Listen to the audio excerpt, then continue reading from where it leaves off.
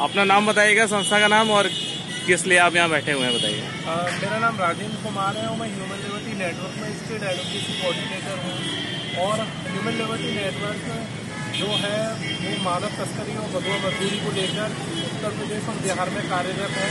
और हम लोग उत्तर प्रदेश और बिहार में मानव तस्करी को रोकने एक अपील कर रहे हैं। अभी 26 जुलाई 2018 से लोकसभा से बिल पारित हुआ है जिसमें कि मानव तस्करी को विस्तार से बताया गया है। कस के बोलिए। मानव तस्करी को बड़े विस्तार से बताया गया है। तो हम जनता से ये अपील कर रहे हैं कि माननीय राज्यसभा सदस्यों से ये अपील है कि वो इस बिल को राज्यसभा से भी पारित करें, जिससे कि बिल राज्यसभा से पारित होकर एक कानून का रूप धारण कर सके और हमें मानव तस्करी से लड़ने में एक मदद मिल सके।